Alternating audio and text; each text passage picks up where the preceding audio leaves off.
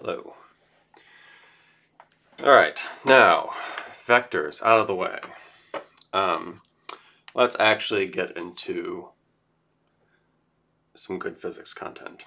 Uh, and we'll start with Newton's laws. Newton's laws of motion provide a mathematical way of describing the physical world around us. They provide a highly, highly accurate way of viewing the world as he wrote them down um, in his Principia that he was first published, I guess, in 1687. He came up with three laws of motion that together fundamentally altered how we perceive the world. Now, while Galileo and Descartes had written down versions of some of these laws, you know, so you might ask whether these are actually Newton's laws. Uh, Nonetheless, no one was able to state them as precisely as Newton was able to, and as well as Newton was able to see that these three laws together are really what matter. Um, this happens more often than you think. You know, Maxwell's equations in electromagnetism is the same sort of thing. Maxwell didn't come up with a single one of them. He added one term to one of those four equations. That was his kind of scientific contribution in terms of the mathematics of those equations. But he was the one that realized that when you use them all together, a, a un unification of electricity and magnetism took place. So Newton's three laws, as he wrote them on the screen, and remember, English was different back in the day. Uh, if these sounds kind of arcane and uh, antiquated. You might recognize as his first law being the law of inertia. Everybody preserves in its state of rest or in uniform motion in a right line unless it is compelled to change by that, that state by forces, I can't even read it, it's so weird, uh, state by forces impressed thereon. The alteration of motion is proportional to the motive force impressed and it is in the direction of the right line which that force is impressed. We now write that as F equals ma. And the third law, to every action there is a, always oppose an equal reaction, uh, or the mutual actions of two bodies upon each other are always equal and directed in opposite directions or contrary parts. And again, this is an upheaval um, of a lot of deeply rooted ideas that started with people like Aristotle almost 20 centuries prior. Uh, and as you know from solving Newton's laws in introductory physics, some of the implications of these only become clear after a great deal of effort, because our intuition, which is based on everyday experiences, typically leads us astray. Uh, it's not until we heavily scrutinize our observations that we can come to Newton's laws compared to, say, the ones that Aristotle came up with 20 centuries ago. Aristotle had frozen this notion of the way the way world worked by making logical arguments and simple observations, where he concluded that the natural state of things is to be at rest. Wait long enough and things stop. I push an object across a table, it eventually will slide to rest as a result. Um, it seems that no matter what you do, wait long enough, things eventually come to rest. So he argued then that this thing we might call a force, a force is required to just to keep things moving, even at a constant speed. If I want to move at a constant speed, I have to continuously apply a force to the object to get it to keep moving. Else, if I stop applying a force, it will come to rest. And while we now know that is wrong, again, we cannot blame him because you definitely had this model of how the universe worked before taking physics. And even as physics majors, or even, you know, as someone who understands physics, this mindset would immediately enter your mind in cases because it kind of jives more with everyday experiences. If you're being chased by a lion, I think most of you would not say that you just need to give a really strong push at the start and you'll just coast away at a constant speed from that lion. You would be eaten immediately. Right? Rather, you would think that you need to continuously be putting in an effort to run so that you can outrun the lion though that contradicts the idea of what is stated in Newton's first two laws of motion. Of course, it's friction that is, is, that is the issue there, and that there is frictional forces that are slowing you down. That's slowing the apple down as it's pushed across the table. So it's not that in the absence of force. So, right, while Aristotle might have thought that by removing my hand, I am removing all forces, there were there were other forces involved. Uh, subtle effects like air resistance and friction uh, can be pesky things uh, and was unclear to people for, for a long time. We also can't really we can't blame Aristotle. Most of what Aristotle you know came up with has turned out to be wrong, uh, but we don't call him a dummy because he was doing science you know with a limited, simple, you know in hindsight observations uh, that he had you know compared to what we can do today. Um, plus back in the day, the idea of doing experiments wasn't really a thing. Uh, it was more that Aristotle had observations and he reached kind of logical conclusions based on those observations. He didn't really do experiments. That idea, you know, that's now deeply rooted in the scientific method took centuries, you know, to, you know, after Aristotle, um, Francis Bacon and others, uh, to, to, come up with, or Al, Al Haitham and uh, you know, is another one that had early ideas of what we now call the modern scientific method. So if we are to lob criticism really at Aristotle in any way, maybe it's that he didn't make enough careful observations that he then abstracted. Maybe if he had seen cases like trying to push the same apple across a table and across ice, he might have noticed that there's a difference there uh, and reached something that's more akin to Newton's first laws of motion. But again, that's okay. Science is allowed to change uh, based on new data and observations. Plus, what makes Newton's laws kind of challenging to uh, at least come up with just based on abstraction of, sim of, of simple experiments is that, particularly in the case of friction, it's really hard to eliminate friction entirely in most cases. So no matter what experiment you do, right, there's always perhaps things like air resistance and friction that are might subtly be impacting your results. Um, so to come up with Newton's laws as they are, right, also requires kind of a level of abstraction that's required um, to come up with Newton's laws. Uh, and Galileo and Descartes, uh, before Newton, had started this kind of thinking, uh, particularly with Newton's first law, Newton's law of inertia. You know, Descartes had said, and had done this purely by thought, uh, that he believed in this idea of inertia, that once an object is moving, it just wants to keep moving, and it will continue moving unless something imposes it and causes it to stop, which is, in essence, Newton's first law.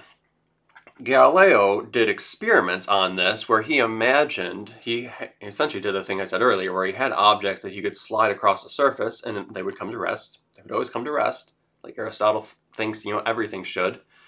But then he imagined if he were to take that same object and slide it across surfaces that are slipperier and slipperier, he could observe that that same object would go farther before coming to rest, and the slipperier the surface got, the farther it went before eventually coming to rest. So he abstracted and reasoned that if he could eliminate any sort of stickiness, or what we now say is friction, on the surface, that the object would come, would, would slide at a constant speed in a linear direction.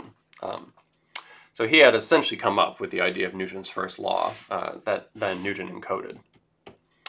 He also came very close to coming up with Newton's second law as well in his studies of falling objects and rolling objects down inclines. Uh, he had come up with you know ideas that were getting very close to this idea of forces equal force equals the mass times acceleration uh, particularly his famous experiments. You know, you know, the Leaning Tower of Pisa, that's likely apocryphal. Uh, it's probably unlikely that he actually dropped things from the Leaning Tower of Pisa.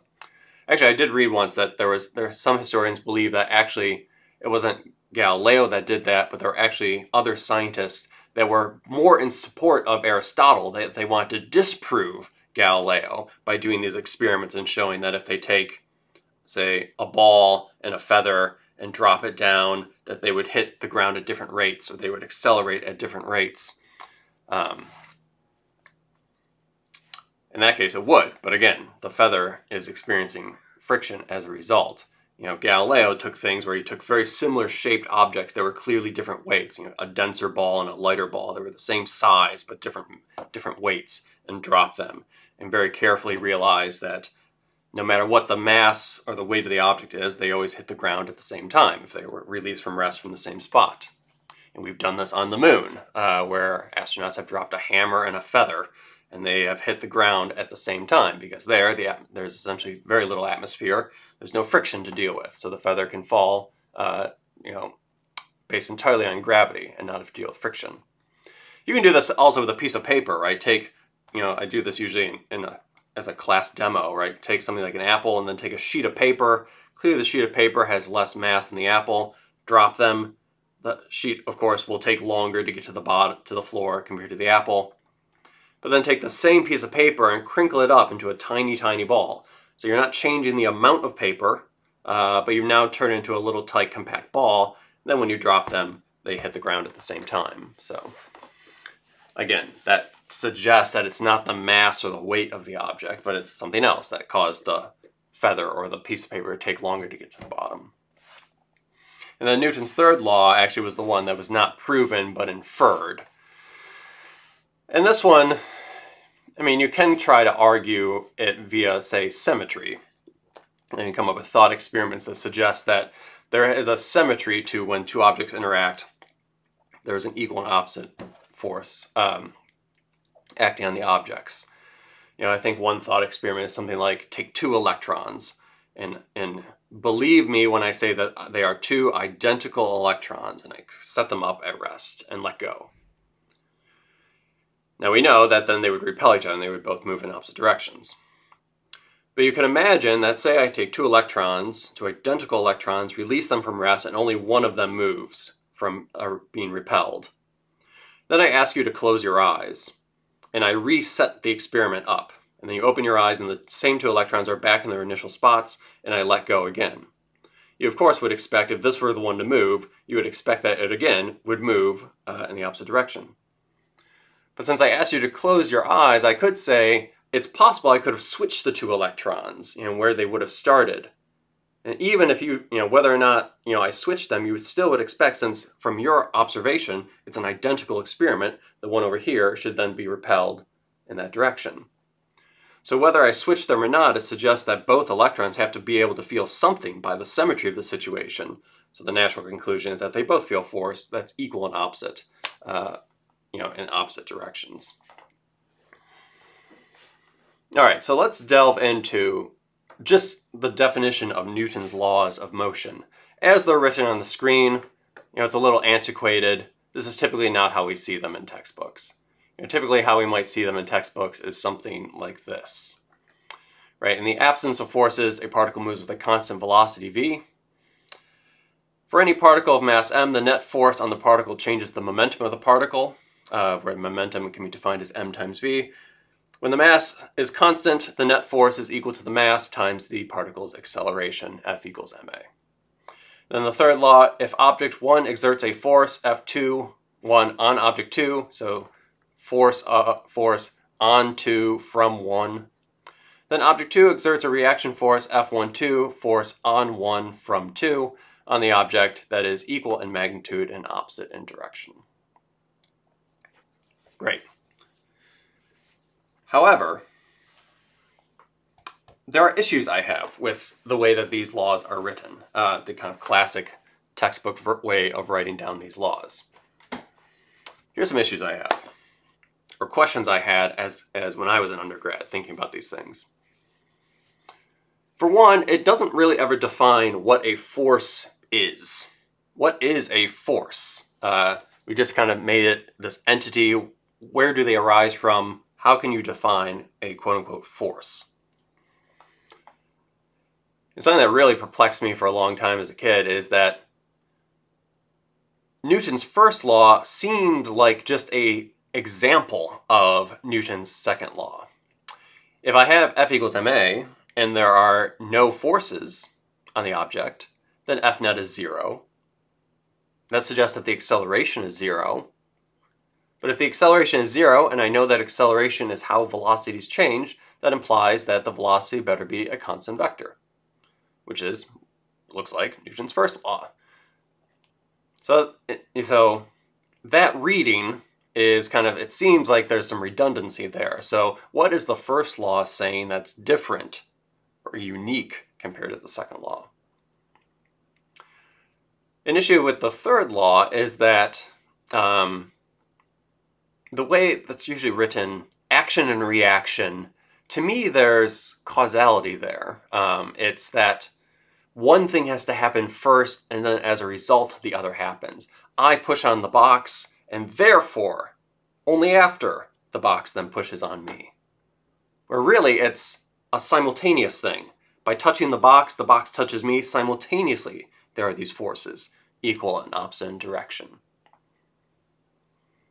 You can also ask, when are these things valid? When can I use Newton's laws of motion, particularly since we now know we can easily find examples in quantum mechanics, relativity, electromagnetism, where these don't always work.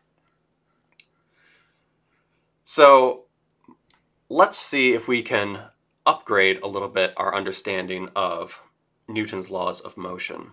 Um, particularly, let's focus on the idea of, for this module, of just trying to define force. And I think my reading of these laws is that I can actually use the third law of motion as a way to define forces. What is a force? Typically you read it as kind of forces or pushes or pulls, right? That's kind of a simple way of, of describing it. And I like that. That's not a bad definition. A push or a pull. Pushes or pulls have directionality. So to me that suggests this force thing, whatever it is, is a vector. So forces are going to be vectors if they're pushes or pulls. But the third law is where it defines kind of where forces arise from.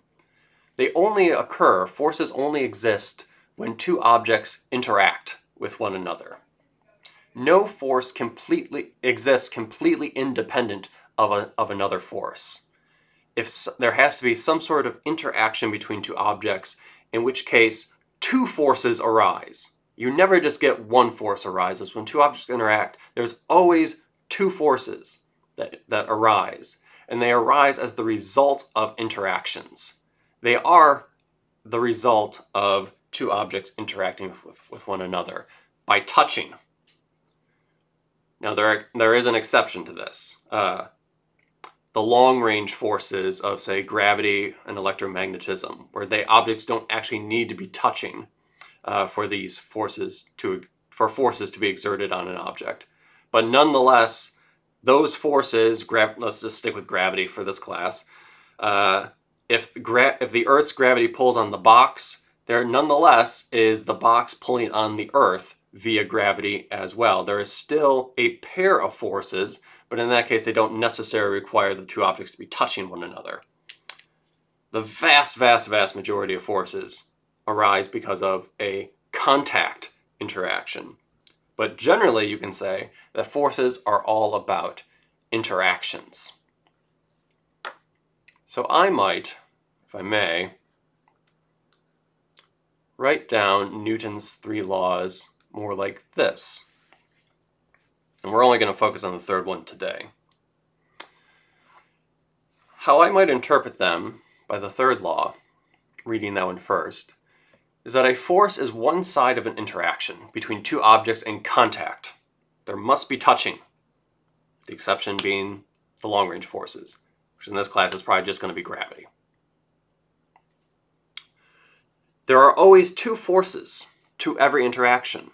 The force of object 1 on object 2 and the force of object 2 on object 1, which are equal in magnitude and opposite in direction each of those forces act only on one object in, in, the interaction. If an interaction suggests there are two objects interacting with one another, and therefore there is that interaction, two forces arise. But each of those forces are acting on a different object at the point of contact. Right? Force of object 1 on object 2, and the force of object 2 on object 1. Each of these gets one force vector that is acting on it uh, that arise from this interaction. Let me see if I can write down what I mean by this and what this implies about the origin of forces. Well, actually, the first, let me read the others.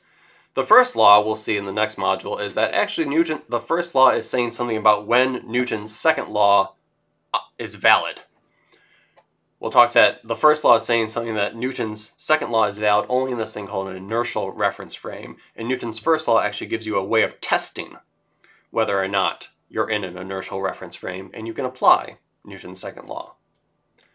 And then Newton's second law is more or less unchanged. The net force on an object changes its momentum. In the case where the mass is a constant, you get F net equals ma. Uh, but there, I think there is a little bit more causality, so I like it to write instead is that the result of forces acting on an object with mass m is that the object experiences as a result an acceleration a, which is the net force divided by its mass. But for this third law, again, trying to define the idea of forces.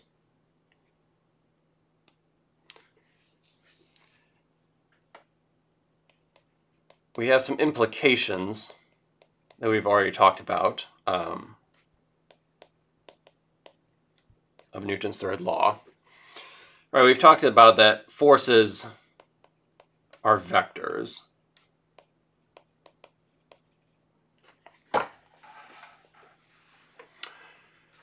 And they arise as pairs in an interaction.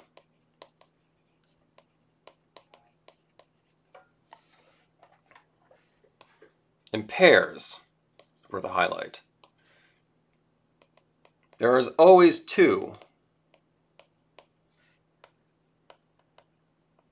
Always two forces arise in the interaction.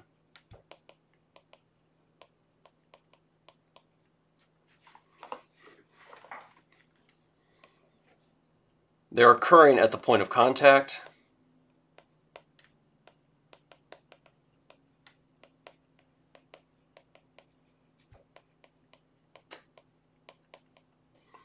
Between the two objects.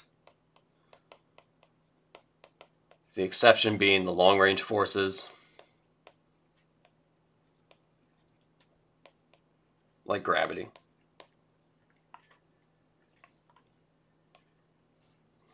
And something I haven't really said yet is that these force pairs are always of the same type.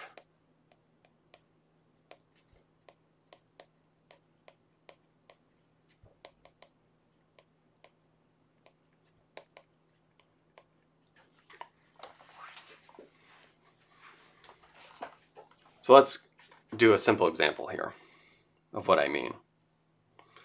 Let's suppose there's a box sitting on a table. Or let's just have it sitting on the ground. And then I push on the box. And I want to identify all the forces. Just overall, right? This is a universe where it's the earth, the box, and my hand. Uh, can I identify all the forces uh, in this cosmos? Well, one way to identify where do forces arise, they arise at points of contact. So there is a part of the box where my hand is touching the box. At that point where the box and the hand are in contact, two forces appear.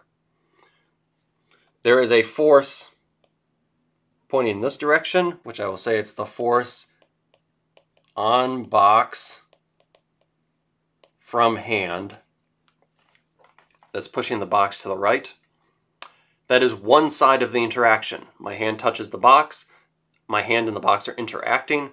There's an interaction force of force on, you know, um, on box from hand. There then arises an equal and opposite force pointing in the opposite direction of force on hand from box. these are kind of unwieldy subscripts but they help make it super, super clear what are the Newton third law pairs. The hand and the box touch each other, force of on box from hand and on hand from box. Those are the Newton third law pairs. If I were to write them down mathematically, they would be equal in magnitude and opposite in direction. Those two forces. Okay. The box is also touching the ground. It is touching the ground and there is a point of contact here where the ground and the box are in contact. Therefore, two forces arise. there is a force on ground from box, and that's acting on the ground. And then there is a force on box from ground. You might say, well, what about the normal force? Stop. Right? People, I hate the fact that the normal force gets its own name uh, because it's not its own magical force, right? The normal force, as it's typically taught in introductory sequences, is really just what I wrote down as force on box from ground. It is the force of the ground pushing up on the box. But this makes it more clear that it's arising because there's a contact between the box and the ground. Oh, well, isn't the normal force equal to m times g? Stop. There you're incorrectly trying to connect gravitational forces and contact forces, which are different types. One's gravity, a long-range force, one's a contact force. Sometimes they are equal in magnitude, but they are not by default connected to one another. So please do not immediately write down that normal forces are equal to mg. Uh, also, if you can get, if you can help it, maybe stop saying normal force at all. Uh, I particularly don't like it. I think it's misleading. But so far we've identified four forces total. Two of them are acting on the box force on box from hand and on box from ground. Then there's one force acting on the hand, on hand from box, and there's one force acting on the ground, on ground from box. Then the last thing, once, and notice that at that point, I've identified everything that's touching the box. There's nothing else touching the box. The hand is touching the box, and the ground is touching the, is touching the box. Each of those interactions created two forces, notice. Now that I've identified everything that's, and then the hand and the ground don't seem to be touching one another, so I don't have to worry about an interaction pair between them. Once you're done with all the actual touching, then you can ask yourself, do I have any long-range forces I need to worry about? In this case, let's include the gravitational pull of the Earth on the on the box. And therefore, the box must also pull gravitationally on uh, the Earth as well. You might say, well, didn't we just write that down, you know, in some of the other ones? No, because the, the reds and the greens were contact forces resulted from touching. Now we can then add in, maybe there's, usually I write these arrows not actually on the on the object, right? I can have force on box from Earth. Then I might put a little comma G or something to specify that it's gravity. That's... But then, Newton's third law, I then have to write down a force of on Earth from box, which must be gravitational in nature as well. Force pairs are always of the same type in this case.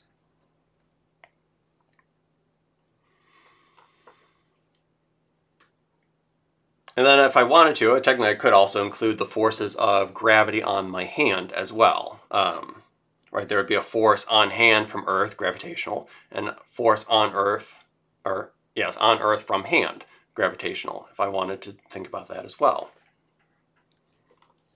But if I'm just focusing on, say, the box, uh, notice now in this case, I've identified all the possible forces uh, that could potentially be acting on the box.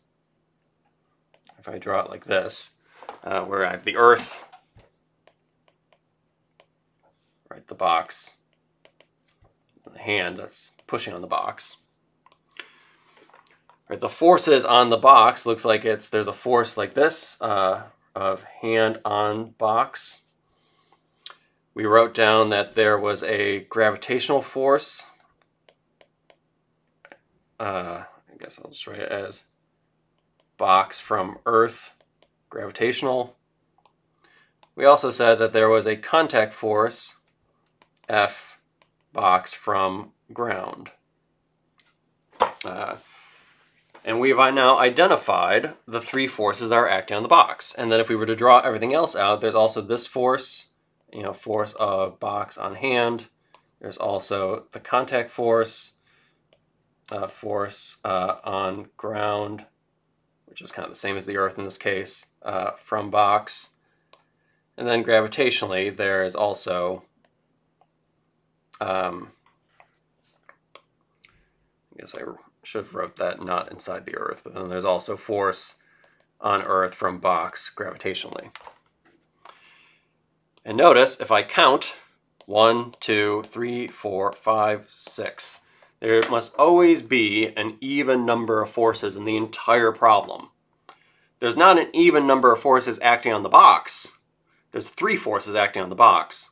Uh, but each of those forces has a Newton third law pair uh, that act on different objects. Again, remember Newton's third law, the forces act, on, the, the pairs act on different objects. You can't have an equal and opposite reaction, you know, pair of forces uh, acting on the same object. It's that they act on different objects, the two objects that are involved in the interaction that's going on. Um, all at points of contact, with the exception for this class being gravity, the long-range force. Um, you might also say, uh, we haven't really talked about gravity, but I guess there's another pair I didn't write down, which could be maybe the gravitational force of the box from the from the hand, right? They gravitationally attract each other as well. But again, just a pair of forces would arise as a result. Um, one on the box and one on the hand, and there would be two gravitational forces that are equal and opposite in direction. So Newton's third law to me is what defines the origin of how forces arise and how you can write them down. And if you take this approach by what is the thing touching, pairs of forces arise, and then add in gravity. That will allow you to more correctly identify all the forces that are acting on a particular object that you're studying. Maybe it's just the box.